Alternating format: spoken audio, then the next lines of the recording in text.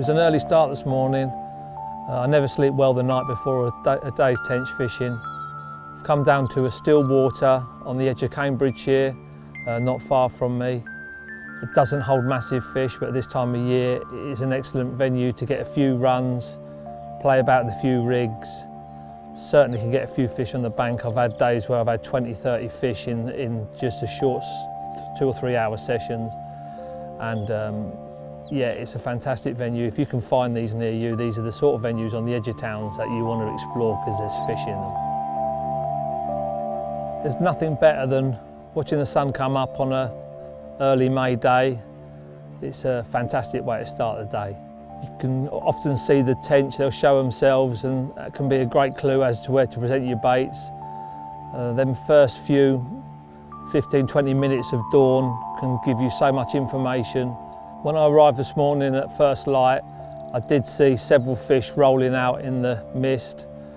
Um, so I put a, a, just a bare lead out towards them and located a um, silty gully, about 13 wraps. Um, as I said before, it's always best to get down here early and little clues like this will definitely help you have a good day's fishing. I've had a further plumb around with the bare lead and the rest of the lake is fairly barren. There's not many features, so tiny little clues like that where you can find something, a patrol route, anywhere that might hold natural food. These are the places you want to be aiming.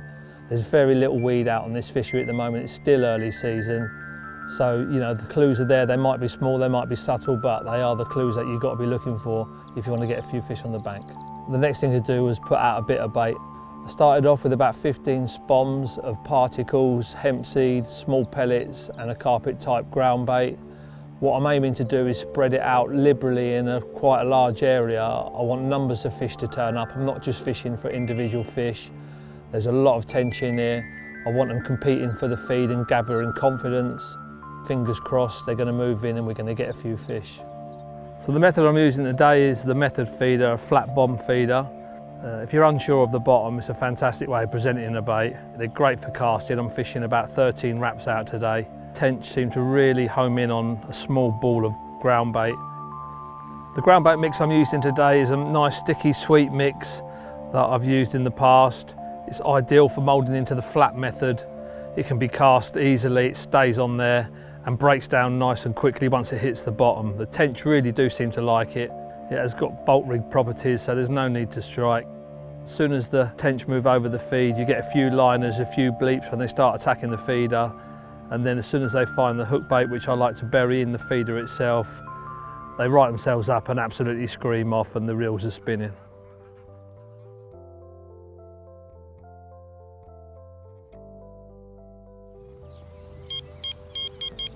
That's fish.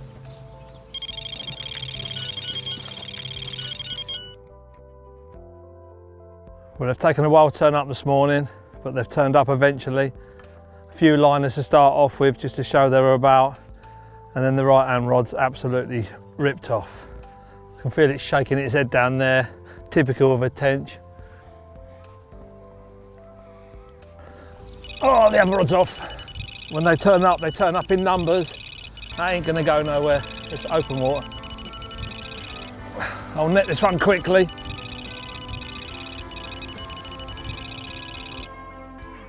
That's what they call a double whammy. When the shoal turns up, you might have to wait an hour, you might have to wait two hours, but you just got to be patient. Let them move on to the baited area. Like I said, spread the bait out, get the shoal into the feeding zone. And just as I've seen, two rods just ripped off straight away. Those rods had literally only just been recast. They've been out there a little while, so I rebaited, recast, the fish must have been there and they've homed straight on into the sound of the feeder hitting the surface. And within a few short minutes, bang, they're both rattled off.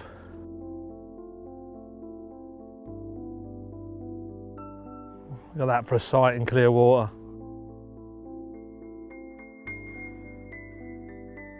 Can't get better than that.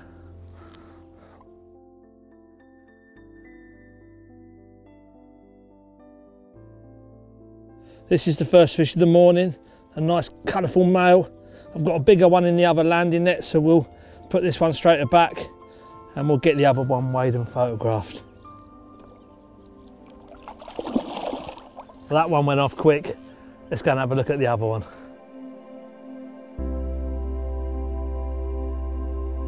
Well, that was absolute carnage. Double take, second fish of the day.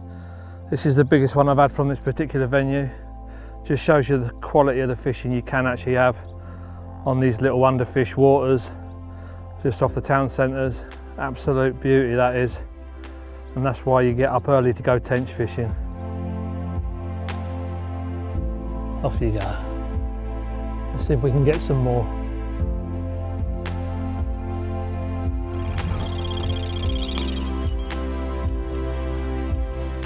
Staying deep before it comes up over that marginal shelf. That's always a tricky point. I'm guessing the male the way it's fighting.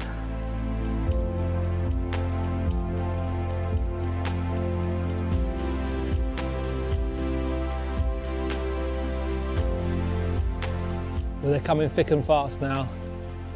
They've definitely moved on to the feed. It's important to keep the swim topped up, which is what I'm going to do now. Get the spod rod working again and I'm sure the action is going to continue throughout the day. Happens time and time again when the fish drift off, put a few spombs out there, they definitely respond to the sound of the spomb going in. I know it's an old cliche, but it is a dinner bell. And I've had it time and time again where the fish respond immediately, even when you're spodding, they'll come back and you'll get bites. So a great little edge I've been using today is a little glug of um, tiger nut liquid that I just pour onto the feeder itself or drop it into. Um, it really does seem to home the fish onto the uh, feeder rather than onto the freebies. And immediately I've had a reaction, the fish has fell for it straight away, moved in on the feed. Another one's hit the net and they're, like I said earlier, they're coming thick and fast now. It's a great morning's tench fishing, I've really enjoyed myself, well worth the early start. Well, it's another take, this one's absolutely melted off again. It's hectic to say the least. Well, I'm actually losing count now of how many fish I'm having. And there's waterways all, all around the country like these. You just got to go and find them.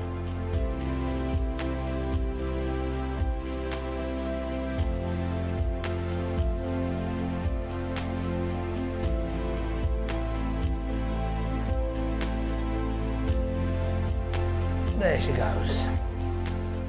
What about that? What do I like about tench? Or what don't I like about tench? They were the first big fish I hooked as a youngster that really pulled back.